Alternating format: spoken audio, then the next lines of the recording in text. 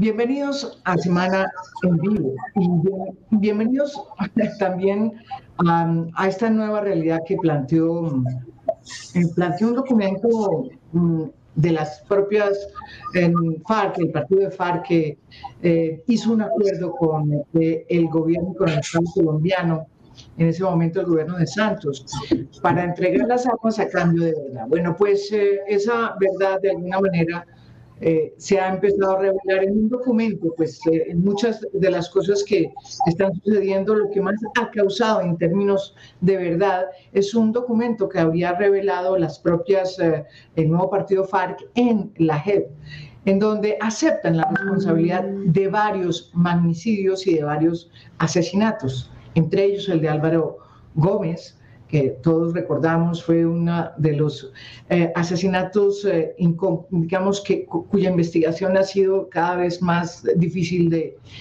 de seguir eh, por la cantidad de versiones contradictorias que hay. Pues bien, no solamente las FARC dijo que había mm, asumido la responsabilidad de ese asesinato, sino que también habló de varios otros. Entre esos está el asesinato de Hernando Pizarro, hermano de Carlos Pizarro. Hernando Pizarro había sido también miembro del M-19, después había integrado otro grupo eh, guerrillero, eh, el Ricardo Franco, que había sido además junto con eh, el líder de ese grupo, uno de los que posiblemente protagonizaron uno de los mm, hechos más complicados dentro de la guerrilla, que es la masacre de Tacuello, cuando Jairo Delgado decide que era el jefe em, de, la, de ese grupo, eh, decide de alguna manera que hay una cantidad de infiltrados en su grupo y las decide, eh, decide asesinarlos. En fin, hay una cantidad de información al respecto que eh, todavía no se sabe y que tienen que ver con ese, esa, esa relación que tuvieron con, con, este señor Jairo Delgado. Bueno, pues después de mucho tiempo, el propio Hernando Pizarro em, se desvinculó de todo y mucho tiempo después, muchísimo tiempo después, resultó asesinado, incluso tiempo después de que él hubiera decidió dejar y abandonar todo su pasado guerrillero. Según tengo entendido, estaba ya dedicado a cosas que estaban, mm, no tenían nada que ver con, realmente con, con su pasado guerrillero. Fue entonces cuando lo mataron el 25 de febrero de 1995. Resulta que por cuenta de ese asesinato fue capturado y condenado Gustavo Sastoque, una persona que trabajaba de manera administrativa en la fiscalía de entonces. ¿sí? Y hoy, con la decisión de abrir de nuevo el episodio de qué fue lo que pasó en el conflicto, las FARC han dicho que ellos asumen la responsabilidad del asesinato de Hernando Pizarro. De Hernando Pizarro. Pues hoy tenemos a esa persona que pagó más de 20 años en la cárcel y que según él los pagó sin haber cometido ese crimen. Él siempre dijo que nunca había cometido ese crimen y hoy, al parecer, eh, según lo que empiezan a decir las FARC, él eh, le está dando la razón la historia. Por eso hemos querido entrevistarnos con eh, Gustavo Sastó, que eh, por primera vez en mucho tiempo habla de este episodio. Bienvenido aquí a, a Semana en Vivo, Gustavo. Martina, muy buenas tardes. Muchas gracias por la invitación. Bueno, entonces, cuénteme cómo es, cómo es usted, cómo terminó usted condenado eh, por un crimen, el crimen de Hernando Pizarro, que como digo, fue llevado a cabo el 25 de febrero de 1995 en Bogotá. ¿Cómo terminó usted acusado siendo, como usted dice, que no ni siquiera conoció a Hernando Pizarro y que es totalmente inocente? ¿Cuál es su historia? Cuénteme por qué comenzó y por qué estaba trabajando en la fiscalía. Bueno, María Jimena, yo, yo ingresé a la fiscalía en el año de 1990, inclusive todavía no existía la Fiscalía General de la Nación, sino era instrucción criminal. Eh, con el cambio de constitución se creó la Fiscalía General de la Nación y yo ingresé a la Fiscalía en el año 90 al Cuerpo Técnico de Investigación Eh, mi cargo era netamente administrativo, yo era asistente judicial del Cuerpo Técnico de Investigación de la Sección de Criminalística. Eh, en el año 1995, el 8 de marzo, eh, yo me encontraba laborando normalmente, estaba en mi oficina normalmente trabajando, mis labores netamente administrativas. La única dotación que recibí la institución fue una máquina de escribir y el carnet que me... sí, el que tenía que me entregar ya la fiscalía. Bueno, ese día yo llegué, a almorzar a las, a las 2 de la tarde, estuve en mis labores, radicar correspondencia, enviar correspondencia, en fin, eran mis labores netamente administrativas. A las 3 de la tarde eh, se comunicaron con la secretaria de criminalística, ella me entregó un documento, un papelito pequeño, un, sticker, y decía Gustavo Sasto que favor presentarse a las 3 de la tarde en la calle 11, donde se encontraba previamente la Fiscalía Regional, y preguntar por un número de proceso que no se me olvidara tanto el 24789. En efecto, a las dos y media salí para la Fiscalía Regional en el piso 11, donde quedaba el día anteriormente, y subí al piso 11. Llegué y me presenté con una de las personas de recepción, le entregué el documento, me dio un segundito, hizo una llamada, como a los 10 minutos bajo un señor de barba, corpulento. Más adelante me, me enteré que era de nombre Álvaro Bayona, funcionario de la Fiscalía Regional. Ese año me recibió el papel y me dijo, buenas tardes, muy atento, inclusive me decía, Gustavito, buenas tardes, que voy a averiguar a ver para qué fue que lo citaron. Sí. Entonces él subió, estuvo un rato ahí mirando, me senté, había un muchacho también que era de la fiscalía y, y le decían, ay, ¿para qué me citarían? Pues yo pensé que era algún correo mal enviado o alguna correspondencia porque hacer mi labores de correspondencia de la fiscalía. El muchacho me dijo, no, es que al aparecer lo van a ascender. O sea, me causó curiosidad, como así que una a esas alturas. Digo, bueno, entonces, como a los 45 minutos, una hora, bajo nuevamente el señor al cual le había entregado el, papelito. Y me dijo, vamos, no sé todavía por qué lo habrán citado, vamos, eh, acompáñeme allí. Y entonces me entraron a una oficina en donde había un escritorio, una silla y al frente había un vídeo totalmente oscuro. Sí. Entonces me el señor me dijo, un momentico, voy a seguir averiguando para qué o por qué motivo que lo citaron. Entonces, listo, yo me senté pues ahí esperando y yo, ¿quién sabe qué será? Entonces, como a la hora golpearon y abrí, salí y había un señor y una señora. El señor me entregó un documento y yo pues lo le decía, orden de captura fiscal regional, aparecía mi nombre, el delito de homicidio y lo que me causó más extraña es que decía posible ubicación, Puerto Rico, Caquetá. O sea, ahí es donde empezó la mala fe y el montaje que se bragó en mi contra. Como es que Puerto Rico, Caquetá, a sabiendas de que yo trabajaba con la misma fiscalía y sabían que yo vivía en Bogotá o sea, se dio mala fe. Es más, la orden de captura en ningún momento fue firmada por el jefe de la orden de captura. ¿Pero quién eran esas dos personas que le, entregaron esos dos documentos? Del DAS, eran agentes del DAS. Eran ah, agentes del DAS. Un señor era del DAS. Se identificaron como funcionarios del DAS. Entonces, ellos fueron los que recibieron la Ahí lo capturan, y ahí lo capturan. Sí, pero lo que llegó María Jimena no fue un operativo, no fue que llegaron a mi casa, de que rompieron, de que mi esposa me colocaron ese día el señor me dijo que a mí me acompañan, pues yo muy fui tranquilo, yo no hubo una, una equivocación, algo, inclusive ya iba a mi casa, pero respondió mi mamá, pero yo no quería comentarle para que no se preocupara. Entonces llamé a mi jefe de, la fiscalía. Y ya como así me Sí. Y cuando... Me dijo, tranquilo, no se preocupe que debe ser una equivocación, me dijo mi jefe, pues yo no, tranquilo, se tiene que resolver alguno mal el otro día, pero yo no sabía por qué motivo, no, no tenía conocimiento del por qué me estaban deteniendo en ese momento. ¿Y cuándo fue que supo que lo, eh, iban a, lo estaban deteniendo por haber usted presuntamente matado a Hernando Pizarro? Pizarro perdón. Sí, señora, eso fue al día siguiente la noche me trasladaban los calabozos del DAS. Allá pasé la noche, pues tranquilo, porque me dijo, eso es una equivocación, mañana todo se resuelve. Al día siguiente, como a las 8 de la mañana, me llamó de los guardianes del DAS, lo que me necesitaban. Entonces entré a una sala y tenía una sala pequeña. Ingresé a una señora ahí sentada, entonces me la acerqué y era la abogada te me saludó y me dijo, Gustavo, ¿usted sabe por qué motivo lo tiene acá? Le dije, no, señor, ni idea. Tenía por la muerte de Pizarro. Entonces le dije, pero ¿cómo así Pizarro? Yo nunca en mi vida montado en un avión. Entonces me dijo, no, por la muerte no es de carretera. la perdón, perdón, ¿usted pensó que era de Carlos Pizarro? De Carlos Pizarro, sí, señora. Que había sido, pues, eh, Carlos Pizarro, que es el hermano de Hernando Pizarro, para la gente que lo está viendo, fue asesinado, pero eh, años antes, creo que en 1992 o algo así, o 91. Exacto. Entonces, usted pensó especialmente cuando le dijeron, eh, está, usted aquí capturado por la muerte de Pizarro, pensó que era Carlos Pizarro. Que era Carlos Pizarro, sí, incluye mi respuesta, yo le dije al abogado, le dije, yo nunca me había montado en un avión. Me dijo, no, es por la muerte del hermano. Pues, chico, así, Dios mío. Sacó el periódico El Tiempo, no se me olvidará tanto. Decía capturar al presunto asesino de Hernando Pizarro León Gómez, esta gente del CTI. Y ahí fue donde empezó la pesadilla. Entonces el abogado me dijo, ¿usted recuerda que hizo el 26 de marzo? Porque Hernando Pizarro la asesinación fue el 26 de febrero del año 1995. Y pues, man, han transcurrido apenas ocho días entonces empecé a volver el caso del abogado, me acuerdo, y claro, ese domingo yo estoy haciendo unas compras. Pues uno normalmente un día de descanso está con su familia, con esa, esa estaba con mi novia, y a la, entre cinco y media, seis y media de la tarde me fui a hacer unas compras al barrio Restrepo. Ese día me fui eh, a comprar unos zapatos. Ingresé al almacén, bueno, escogí los zapatos, pagué con tarjeta de crédito.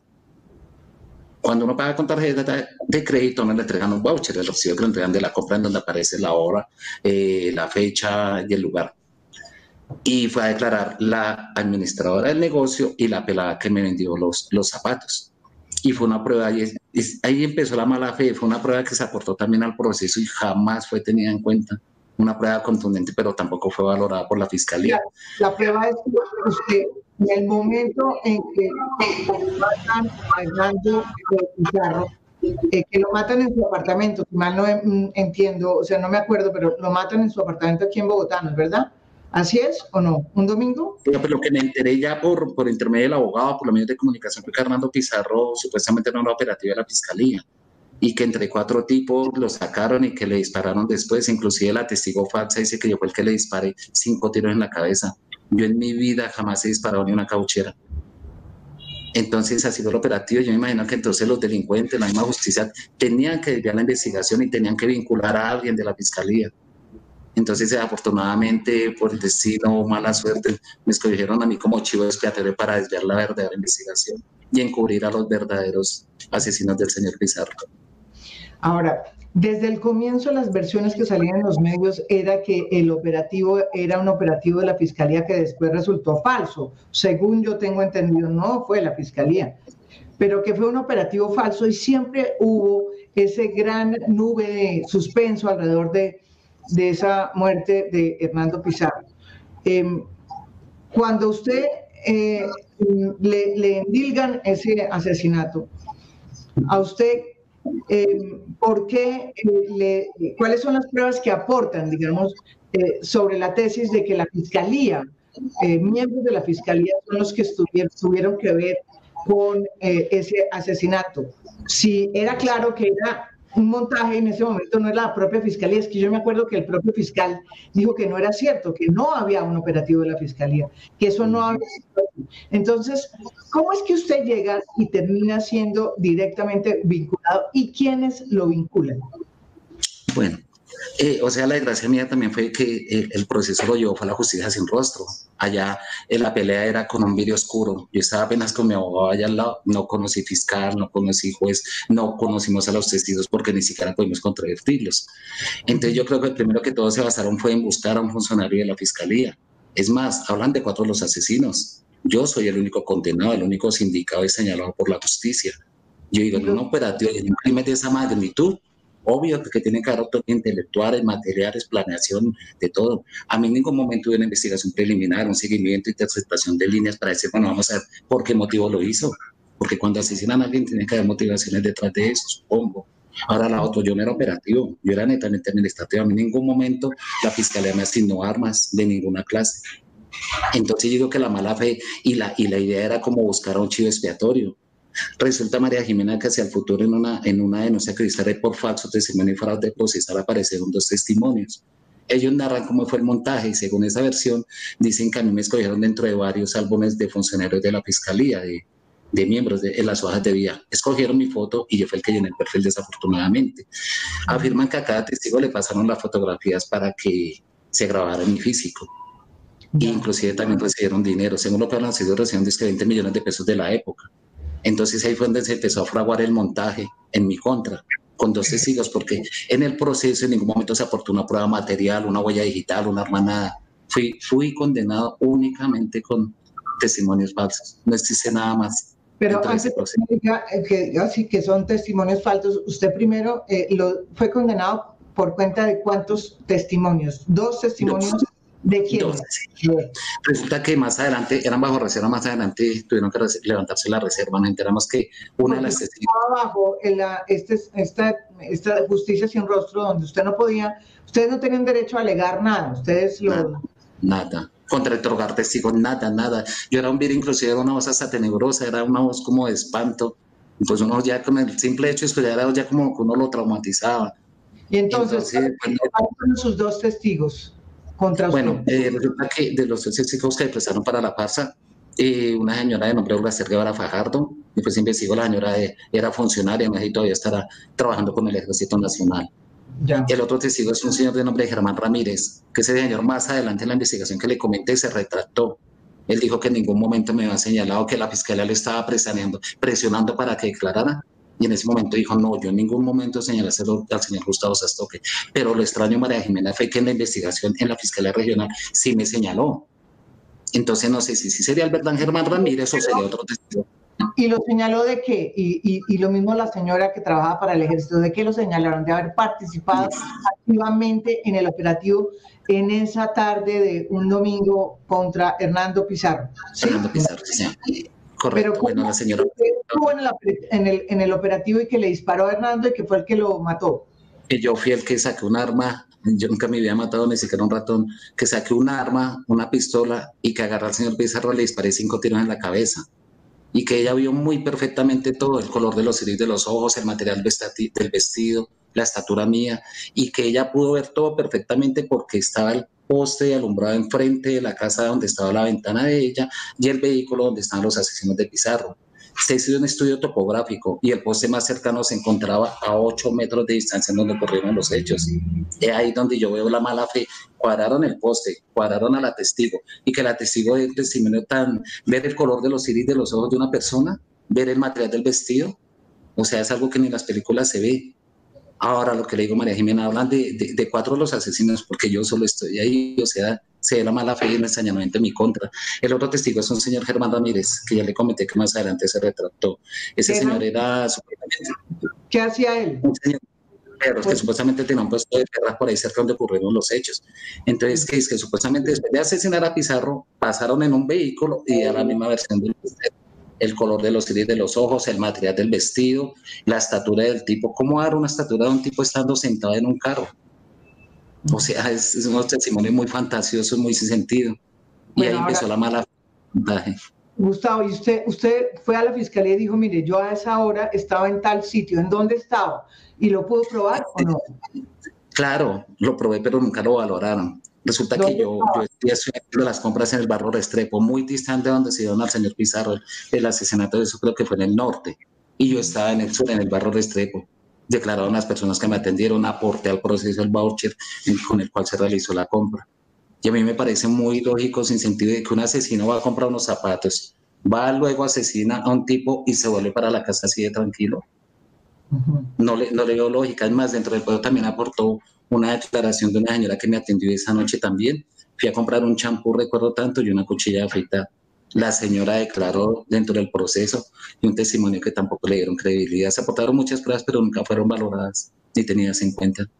Bueno, ¿y cuánto duró su proceso? Y, y, después de eso vino la condena, que fue más de 20 fue realmente 40. Pero ¿cuánto duró su proceso? Bueno, resulta que empezando, bueno, aumentaron la medida de aseguramiento basado en esos dos testimonios, seguía aportando pruebas, seguí peleando y no había poder humano. En el año 1997 fue la condena, fue a 41 años, 6 meses de prisión. yo me ponía a hacer... no, María Jimena, pues dos años para que me llegara la condena, sí, señora. Sí, porque me van a aportar pruebas y, en fin, cantidad de cosas. Y yo pues hacía cuenta, yo tenía 26 años para la época de los hechos, pues yo tenía muchos sueños, muchos proyectos, entonces yo me ponía a hacer cuentas, cuando me comentaron la yo decía, Dios mío, 26 años más 41, voy a salir casi de 70 años, pero entonces no, aquí se acabó mi vida, la justicia acabó con mi vida totalmente. Entonces, bueno, mi familia que fue el mi estandarte y el apoyo, vamos a seguir luchando, vamos a seguir luchando. Nos tocó buscar abogados, inclusive nos tocó eh, rifar una finca que tenía mi mamá para poder recibir el dinero para pagar los honorarios del abogado que económicamente no tenemos para pagar buenos abogados. Y así pues se presentó el recurso de apelación, lo mismo, confirmaban. Eh, presentamos luego ya la, la, acción en la de apelación ante el Tribunal Nacional. Lo mismo me llevaron a ampliar la declaración. Una cámara en la esquina, yo no vi al magistrado. Hice una ampliación y le lloré, yo le lloraba, le explicaba, miren, yo soy inocente, yo soy inocente, yo no sé si ese señor, pero tampoco no poder humano me confirmó, me confirmó la condena al tribunal. A 40, me rebajaron seis meses de condena, María, María Jimena. O sea, me quedé en 40 años y seis meses de prisión. Yo ya, o sea, yo no me maté, fue gracias al apoyo de mi familia y gracias a Dios. Es que yo no, aquí no hay poder humano para poder demostrar mi inocencia. ¿Y dónde, a dónde lo llevaron? ¿Dónde lo trasladaron? Al tribunal. ¿A dónde? ¿A qué, ¿En qué cárcel fue? O sea, ¿dónde estuve privado de la libertad? Sí. Bueno, después de que estuve en los calabozos de TAS 15 días, justamente un comunicado me trasladaron a la cárcel modelo en un pabellón de máxima seguridad. Allá no veía el sol, no veía la noche, eran las 24 horas encerrada en un, un encierro ahí donde dan un poco de cubículo, inclusive ahí viví con unos guerrilleros, con unos paramilitares, era revuelto con todo. Pero gracias a Dios, pues esa noche salió una noticia, no me hablando de la injusticia, esa misma noche, que me condenaron. Entonces pues, la gente empezó a darse cuenta del montaje, pues... ¿Qué, salió, esa misma noche de la noticia? Esa noche salió algo por Caracol Noticias. De, mi familia peleó mucho con los medios y muchos medios nos colaboraron, gracias a Dios. Entonces empezaron a... ¿Qué salieron diciendo? Sí, pues de mi inocencia se aportó, a los periodistas se aportó el voucher que me eh, hice las compras, algunos testimonios que no fueron valorados, unas pruebas que las pruebas de los testimonios o decíamos, miren, es que son dos testigos los que están, me están señalando, ustedes mentirosos. Entonces la gente empezó a conocer más o menos el caso, a decir, bueno, más que por testimonio van a, a, condenar a una persona. Entonces ya empezaron a conocer, yo empecé a escribir a Raimundo y todo el mundo, hasta el Papa, inclusive yo le envié carta suplicando ¿Y, usted habló con la familia Pizarro? Sí, sí, mi familia. Hablaron con un, que es profesor de la Nacional, creo que con el, yo no recuerdo el nombre, sé que es profesor de la Nacional. Ellos dijeron, claro, nosotros sabemos, inclusive el abogado de la familia Pizarro era el doctor Eduardo Maña, que creo que lo asesinaron después. Él, sí. él iba a visitarme una vez, me dijo, miren Gustavo, si hubiera sabido que usted era el inocente de Hernando Pizarro, yo me encargo de hundirlo, pero usted está siendo víctima de un montaje judicial por parte del Estado.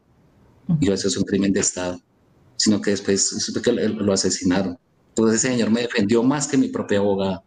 Pues que era contundente, era contundente en las pruebas que se habían demostrado y la misma parte civil, en vez de, de, de, de, hundirme, como dicen, me estaba defendiendo prácticamente la familia Pizarro sabía del montaje y la injusticia que estaba cometiendo en mi contra. Qué drama tan eh, ¿Usted cómo hizo para que le cortaran de 40 a 20? ¿Qué fue lo que pasó? Resulta, María Jimena, que hubo una reforma al Código de Procedimiento Penal. Entonces mi condena cuando la redosificaron quedó en 25 años y 6 meses. Eh, eh, para esa, esa época creo que hubo una rebaja del 10% de condena por los hacinamientos que iban en las cárceles. Eh, entonces por ese motivo yo estuve 10 años, 9 meses con, y tuve, ah, pude acceder a la libertad condicional. Inclusive a mí me entregaron al paz y salvo como hace dos años, o sea, ya ya quedé limpio de eso, pero de todas maneras sigue el antecedente que yo soy un asesino, que soy el asesino del señor Pizarro. Entonces mi hoja de vida todavía sigue con ese estigma y eso es lo que yo estoy luchando, poder demostrar mi inocencia y, limpiar mi nombre. Inclusive María Jimena, yo hice una denuncia en la Comisión Interamericana de Derechos Humanos. Al ver que aquí no habían garantías procesales de que había un ensañamiento total en mi contra, instalé una, una denuncia ya ahorita se encuentra en trámite. Pero qué cosa, y usted duró 20 años en la cárcel, en la cárcel La Picota. casi 11 años. No, en la modelo duré 27 meses, donde le comenté en un encierro. Yo cuando salí, salí blanco porque yo nunca recibí el sol, nunca recibí aire, nada, totalmente encerrado. De salí para la cárcel Picota, fue donde terminé de, el resto de tiempo. Sí, señora. ¿Y qué, qué, pasaba en esos 11 años? ¿Qué sentía usted? ¿Qué hizo usted? Dios mío, pues yo seguí luchando. loco? Totalmente loco. Hubo una tragedia bastante triste que fue la, digamos, cuando recibí la condena María Jimena, mi mamá no, le queríamos ocultar todo. Y desafortunadamente, mediante un medio de comunicación, ella se enteró de la condena. Y ella sufrió un, un derrame cerebral y falleció a raíz de esa injusticia. Entonces siempre he dicho que la justicia mató a mi mamá y acabó con mi vida. La justicia acabó con mi mamá. Mm, eso lo siento mucho. ¿Y, ¿Y, su familia lo apoyó, su esposa? Usted me dijo que era casado. ¿Se mantuvo? No, señora. Eh, yo tuve una bebé, sí, yo tuve una relación, pero sí, una pareja. Yo tengo una hija ahorita y es mi motorcito, es como mi motivación para seguir adelante. Sí. Y no, yo me separé de ella ya. Ahorita yo estoy viviendo únicamente con mi hija. Y pues ella es mi, mi motivación.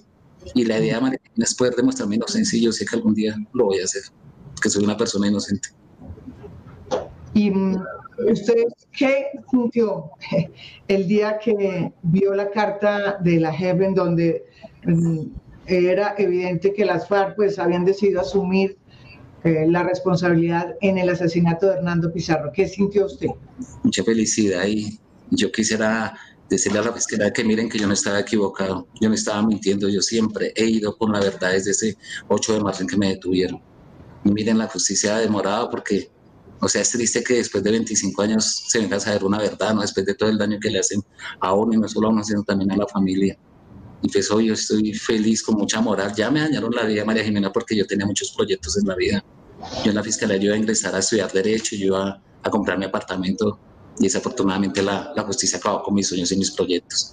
Entonces esta es una luz muy grande y espero que esta vez sea ya justicia y verdad y que la justicia colombiana acepte el error que cometió conmigo. ¿Y usted qué espera? ¿Que la justicia eh, me responda eh, y, y, y, diga eh, e investigue? Porque usted, usted, primero que todo, ¿usted cree lo que las FARC dijo? ¿Usted cree que las FARC sí lo, lo mataron? Pues la verdad, yo no, yo, yo no sé si fueron ellos, pero si fueron, pues ojalá confiesen María Jimena. Y lo que digo yo, a mí no me interesa saber quién asesinó a Orlando Pizarro. Yo creo que eso es labor de la justicia, inclusive de la misma familia Pizarro. El interés mío es que se limpie mi nombre, porque yo soy una persona inocente y yo les digo a la justicia que se limpie mi nombre. Si ellos están diciendo la verdad, ojalá la justicia valore esas pruebas y se den cuenta que yo llevé 25 años peleando por mi inocencia.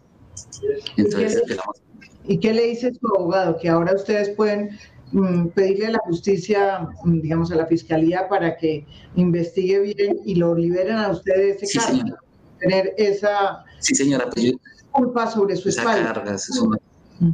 Exactamente, por algo que no dice, pues la idea ahorita de pronto como nos queda una instancia en la Corte Suprema de Justicia, es de pronto presentar el recurso de revisión, tengo que esperar la decisión de la JEP, ¿no? porque todavía como que lleva un trámite. Y lo otro es aportar todo eso arriba a la Comisión Interamericana de Derechos Humanos, porque qué triste tener que recurrir uno a un organismo internacional al no encontrar garantías en este país por parte de la justicia. Entonces hay dos opciones, la Comisión Interamericana y una posible revisión ante la Corte Suprema de Justicia, que creo que va a ser lo más viable. Depende de la, ahorita de la aclaración de los señores de las FARC. Eh, ¿Usted, ¿Usted cree que, o sea, usted me dice que su vida se, fue, se acabó el día que eh, le pasó eso y que lo condenaron eh, de manera absurda e injusta. ¿Qué es lo que usted quería hacer y que, y que de pronto puede volver a hacer si ve de alguna manera luz a, a través del túnel?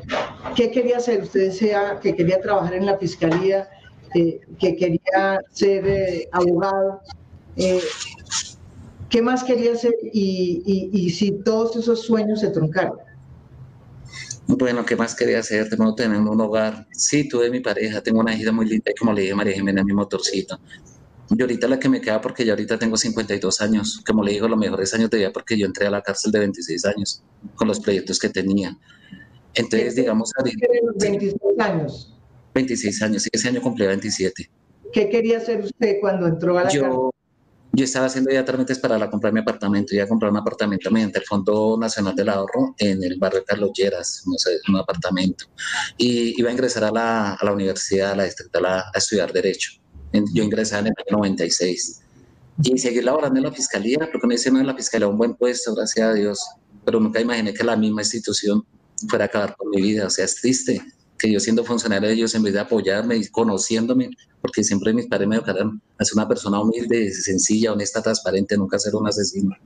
Entonces existe que la misma institución a la cual le presté mis servicios se haya ensañado en mi contra, no sé qué estaban ocultando, a quién estaban protegiendo, pero algo oscuro sí detrás de todo esto, porque a mí gratis no me escogieron para este montaje. En 1995, cuando a usted lo capturan y después cuando lo condenan, ¿quién era el fiscal general? En esa época estaba el doctor eh, Valdivieso, apellido Valdivieso. ¿Y cuando lo condenan también? Cuando me condenan, sí, él siguió cuatro años. Luego ingresó el doctor Gómez Méndez, ese señor sí, un fiscal muy, muy transparente. No estoy diciendo que Valdivieso sea, no tengo nada. Digo, cada quien con su conciencia, como dicen, porque arriba hay un Dios que para abajo ve. Y la gente que hizo el mal termina mal, eso sí lo tengo bastante claro. Esto, yo estoy hasta la administración del doctor Gómez Méndez, el doctor Luis Camilo Osorio, el doctor Iguarano, un fiscal muy, muy generoso también. Hasta esa época estuve privado de la libertad. El doctor Gómez Méndez yo le escribí bastante. Ese señor... Mm, ¿Qué le escribió usted al doctor Alfonso Gómez Méndez? Señor. ¿Qué le escribió usted al doctor Alfonso Suplicándole, suplicándole por, que por favor hicieran algo que una persona inocente y él respondía. Él, él, digamos, eh, eh, eh, insistía mucho por una investigación más profunda, sino que no sé, porque todo lo, lo trancaban. Lo mismo fue con el doctor Iguarán. Yo le escribía mucho y ellos respondían a mis peticiones, pues. O sea, como, pero no actuaban, de, pero la fiscalía seguía sin investigar más, ¿o sí? Sí, pues aparentemente sí, pues a raíz de eso fue que aparecieron dos testimonios que narran cómo fue el montaje. Y yo basaba en esos testimonios que, que impulsó el doctor Gómez Méndez y el doctor Iguarán, instauré denuncias por falso testimonio y fraude procesal. El problema es que ya había transcurrido mucho tiempo y los delitos prescribieron, el de falso testimonio, a pesar de que aportaron pruebas, y fue en donde el testigo bajo reserva número dos que se puso para el montaje, se retractó.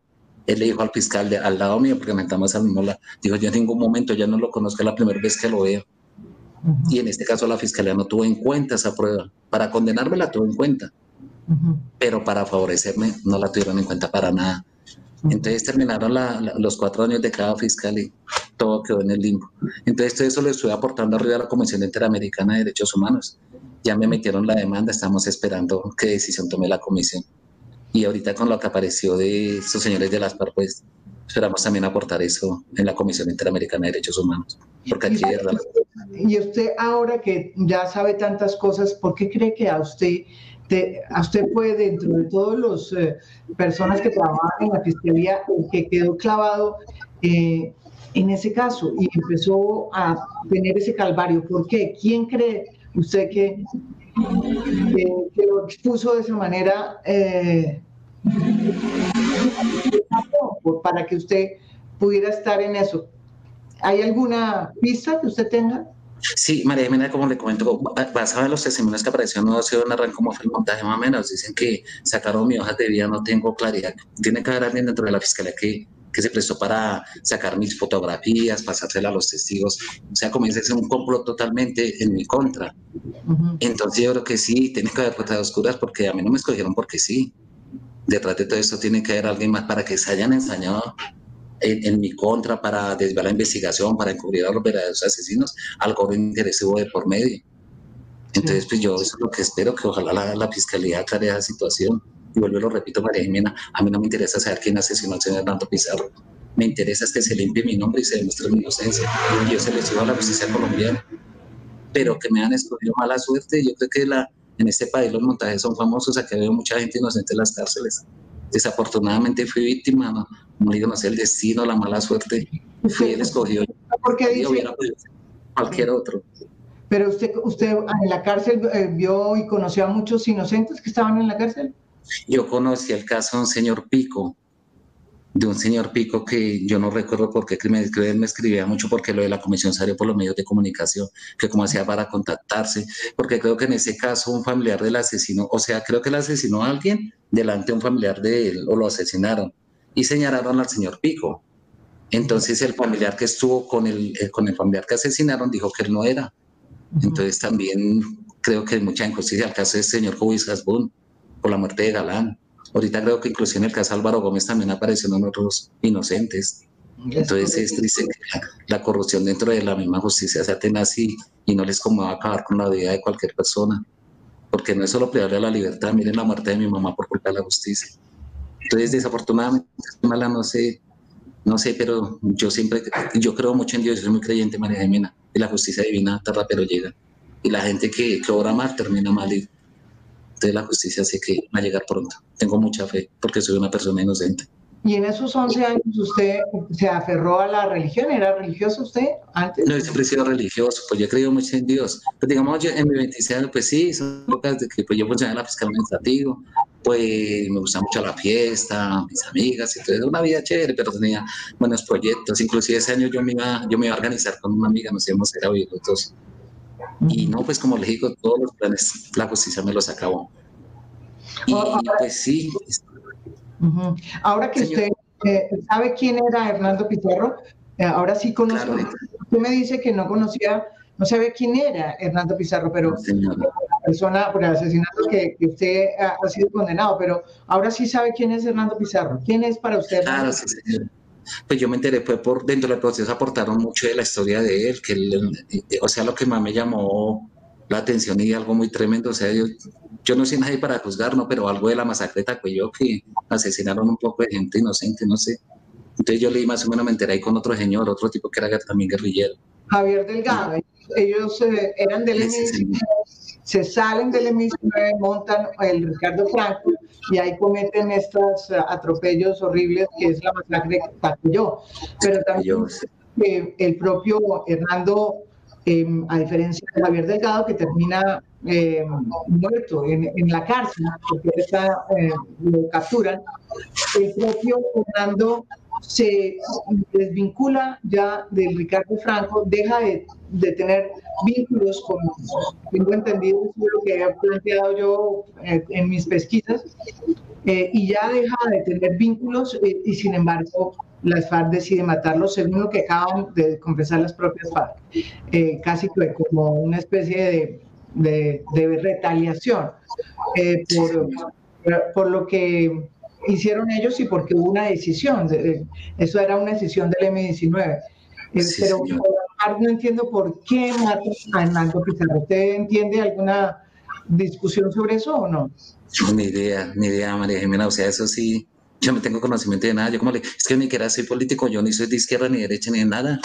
Yo únicamente estaba dedicado era a estudiar, a salir adelante, pero yo ni idea, como le digo, a mí cuando el abogado me dijo que por la muerte de, Pizarro, pues el único que era muy conocido, entonces salía por noticia de todo era Carlos Pizarro. Y por eso fue mi respuesta. Yo, yo nunca... el propio Carlos Pizarro y el propio Hernando Pizarro también eh, eran de las FARC. Salen de las FARC, montan el M-19 y después eh, algunos de ellos, incluidos Hernando Pizarro, montan eh, el Ricardo Franco. Entonces las FARC deciden mucho tiempo después también asesinar a Hernando Pizarro porque eran también eh, considerados traidores, ¿no? Habían salido de la... Eso es un poco lo que, no sé, mentiras, no, no tengo ni idea, pero que, que se le vea a esa a esta, a esta monstruosidad.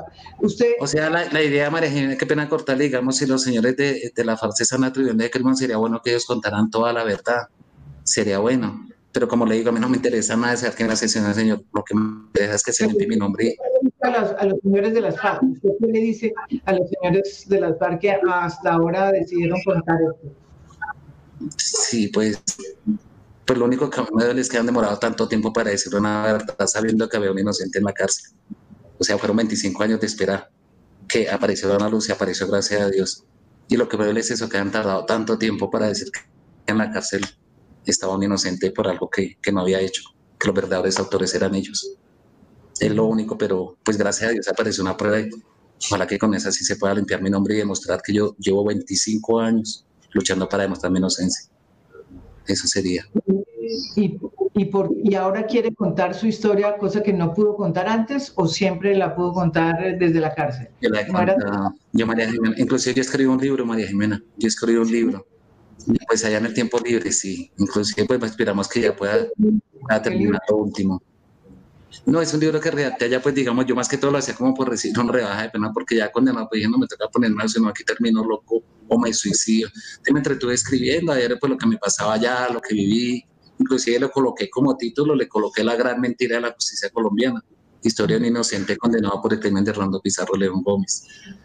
Y pues ese ya me tocaba no entretenerse porque verdad que el encierro no se lo deseó a nadie, ni siquiera se lo deseó a los que me hicieron el montaje, porque estar privado de la libertad lo, lo peor, uno no sabe si mejor estar muerto o estar, estar preso por algo que no cometió. Entonces esperamos que esta vez la justicia brille y, sé que va a llegar, yo tengo mucha fe. ¿Y usted cree que en la parte, digamos, las personas que estuvieron vinculadas a ese montaje que le hicieron contra usted, hay personas de la fiscalía de ese momento? Si uno sospecha, yo digo, siendo funcionario fiscalía, alguien tuvo que haber sacado las hojas de vida, ¿no? mis fotografías para preparar los testigos. Pero como digo, ahorita yo no tengo pruebas para señalar a nadie, yo solo sé que las personas que prestaron para este montaje no han podido dormir tranquilas. Porque yo digo, señalar a una persona inocente, prestarse para dañarle la vida, yo creo que no pueden andar tranquilos o tienen que tener un corazón muy corrompido para dañarle la vida a una persona a sabiendas de que es inocente. Entonces, como digo, en la conciencia de ellos, miren, vuelvo y le repito, yo soy muy creyente y en la vida todo se paga, las personas cobran mal, terminan mal. Y yo le dejo todo a Dios, soy muy creyente y sé que la justicia va a llegar. ¿Usted qué le dice a la familia Pizarro? Porque yo hablé con la familia Pizarro antes de hablar con usted, quiero decir. Eh, y ellos están muy confundidos, muy adoloridos, eh, porque pues Hernando Pizarro era obviamente eh, el hermano, el hijo, lo mismo que un dolor con, con, el tema de Carlos Pizarro igual. ¿Y usted qué le diría a ellos? ¿Qué le diría a esa familia que hoy también está con, con, más que todo confundida y con dolor porque no entienden mucho de lo que está pasando, eh, eh, pero quisieran, como usted dice, que la FARC ampliara mucho más y detallara eh, cómo fue y por qué lo hicieron. ¿Qué le diría usted a la familia Pizarro? Bueno, la familia Pizarro resulta, María Jimena, como esta anécdota, resulta que cuando se privada de la libertad, allá estuvieron los señores del abuso, en una época, un problema con unos sindicalistas del abuso ellos se estuvieron allá. Resulta que el abogado yo era el doctor Eduardo Maña. Entonces uno de los de la USA le comentó, no, aquí está el señor, el señor inocente que se indican de la muerte de, Hernando Pizarro. Y fue y me lo presentó, me acuerdo en una cafetería que allá en la cárcel. Y nos sentamos con el doctor Maña a hablar. Y él me dijo, miren Gustavo, yo sé de que usted es víctima de un montaje judicial, porque si hubiera sabido que usted es culpable, yo mismo me encargo de hundirlo. Y ahí en adelante el doctor Eduardo Meda prácticamente se convirtió en mi defensor hasta que creo que lo asesinaron, lo asesinaron. Y ese señor prácticamente se, e, es mi defensor. Él peleaba mucho en la fiscalía, en el juzgado, pero tampoco le pusieron cuidado. Ahora él, él, le comentaba a la familia Pizarro, sí, el montaje que se ha fraguado en mi contra, inclusive en mi familia, habló con un señor que es profesor de la Nacional. Eduardo. con el doctor Eduardo Pizarro yo dijo que yo no iban a intervenir nada porque ellos sabían del, del montaje que se ha fraguado en mi contra. Y sé que a, María Jimena le comentaron más o menos algo, porque ellos sí tuvieron contacto con mi familia. Y ellos sabían del, del montaje que se ha cometido y que yo era inocente de ese crimen que me estaban señalando. Entonces, ojalá la familia Pizarro ahorita, dentro de lo que está apareciendo, no sé, conviertan en parte civil, puedan por intermedios aclarar ese, esa, esa cuestión sobre el crimen de Hernando Pizarro y así la FARA están dando una luz grandísima que de pronto ya pueden colaborar para el esclarecimiento verdadero de los hechos sobre ese crimen. Sí, eso, eso es cierto. yo, yo, le agradezco su, su franqueza y su, eh, digamos, su transparencia al decir todo lo que está diciendo y ojalá que esto sirva también para, pues, eh, que, que que las injusticias que se cometieron eh, en estos eh, episodios pues se empiecen a aclarar, como la que mm, fue usted víctima, porque realmente 10 años, 11 años en la, en la cárcel por un crimen que no se cometió, pues es, es realmente el peor de todos los castigos. Sí, señora, muy duro. Muy duro, pero bueno, yo 25 años luchando y yo sé que la justicia va a llegar. Tengo la fe. ¿Qué, quiere hacer usted con su vida? Usted hace dos años está fuera, o hace tres. ¿Hace, hace cuánto? No, yo salí en el 2005, yo salí en el 2005. Y eso ¿Y no sale. ¿Qué hace? Desde entonces, ¿qué hace usted? En esa, en esa época, pues yo salí, y obvio que uno sale estigmatizado ante la sociedad porque todo el estándar no era un asesino, pues obvio, uno no un trabajo digno, nada. Yo salí y monté un negocito de comida rápida y desde ese entonces, pues con ese negocio, pues nos sosteníamos con mi hija, que sobrevivíamos, el negocio se me cayó, quebramos, como dicen. Entonces, durante un tiempo desempleado, pues el apoyo de mi familia me ha colaborado bastante. Y en el año 2008, pues todos me recomendaron como, como mensajero. Yo hace muchos años trabajaba como mensajero, pero nunca entraba más opciones. Entonces, a la actualidad me encuentro trabajando como mensajero en un, en un fondo de empleados de la restauraduría. Allá ellos me, me, tendieron la mano, gracias a Dios. Y a la actualidad estoy trabajando allá como mensajero de vengar un salario casi mínimo y con eso nos mantenemos con mi hija, porque ahorita estoy viviendo únicamente con mi hija. Entonces, pues desafortunadamente eso acabó la justicia conmigo derecho a un trabajo digno. Y, y, la gente sabe que usted fue, o sea, cuando usted va a pedir trabajo, saben que usted estuvo metido en esta, o sea, que se le acusa y que fue condenado por este que no cometió. Sí, es que resulta, María Jimena, que para esa época pedían los antecedentes judiciales y obvio que en, el, en, el, en el que entregaban en el DAS, esa época era el DAS, aparecía que me encontrara. Entonces, pues obvio que una persona me pide los documentos y aparezco con antecedente, pues dirán, no, ese tipo de algo. Entonces, como le digo, nos es bastante estigmatizado en, en, la sociedad por culpa de los errores de la justicia. Y ahorita, pues gracias a Dios, tengo un trabajo, tengo un trabajito porque la, el Fondo de Empleados de la Restauración, el gerente me colaboró y me tendió la mano. Y ahorita me encuentro trabajando allá, pues, como le digo, que no sobrevivimos con mi hija. Entonces, para andar riendo. ¿Y nunca estudió? No, no, no. Se me presentó la oportunidad, allá en la cárcel me ofrecieron estudiar, pero no, yo no tenía cabeza, yo permanecía destrozado, y veces pues uno medio, cuando era los días de visita pues era mi moral, pero cuando se iban quedaba totalmente solo, entonces me, la tristeza me invadía más, ya uno sentía a veces como que uno se rendía, uno decía, no, pero tengo que seguir, tengo que mostrar mi inocencia. Y así fui 11 años luchando y por el motivo el libro que le comenté, pues yo me distraía, yo trabajé en el rancho, inclusive yo fui ordenanza ya en los dos últimos años, fue ordenanza del director de la cárcel, pues por la confianza que me tenía. Y era como el mensajero ahí de la, de la dirección de la cárcel. Les hacía mandados, que era un tinto, que era llevar un papel o algo. Y ella me distraía. Pues no es que uno se acostumbre al encierro, sino que tenía también que estar como ocupado, porque la tristeza me invadía y el dolor más. Y más sabiendo que a mi mamá no le iba a volver a ver. Entonces me tocaba distraerme si no hubiera terminado loco. Hubiera terminado loco porque, como le digo, María Jiménez, yo no se lo deseo. A Ni a mi peor enemigo. Estar privado de la libertad por un delito que uno no cometió es duro, muy duro, María Jiménez y es la mañana de la justicia, de la corrupción de algunos fiscales, porque no hablo totalmente de todo, yo sé que también hay gente buena en las instituciones, pero cuando uno cae en manos de la corrupción es imposible, imposible pelear con ellos, un corrupto con poder es muy, muy tremendo. Sí, eh, y usted y usted creo que le achaca eh, digamos, eh, responsabilidad a la Fiscalía de Valdivieso, que es donde usted cree que se hizo el montaje contra usted según la que Pues sí, en esta administración sí, pero yo, yo digamos, le, la chico más a la justicia sin rostro porque creo que ayudó mucho, mucho inocente condenado.